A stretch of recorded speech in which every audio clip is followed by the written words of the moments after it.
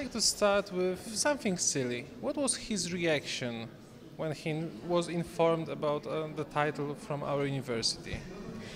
He was very pleased. Um, you know, being a humble guy, um, these kind of things um, come to him, and he doesn't uh, he doesn't gloat or um, spend a lot of time really uh, making a big deal of it. But I know that that deep down he's very pleased because he's worked so hard, and um, to have his work recognized in a place like your university um, is just such a great honor. And maybe something more personal. What's it like to be a daughter of one of the biggest philo- modern philosophers on, of, of our age, yet living in a camper while traveling across the Europe?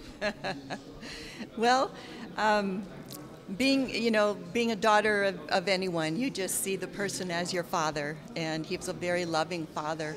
Um, a lot of times when people find out who my dad is, they uh, they almost faint. I just have to say, calm down. He's just a regular guy, a wonderful, regular human being, full of love, and a hard worker with a, a huge heart.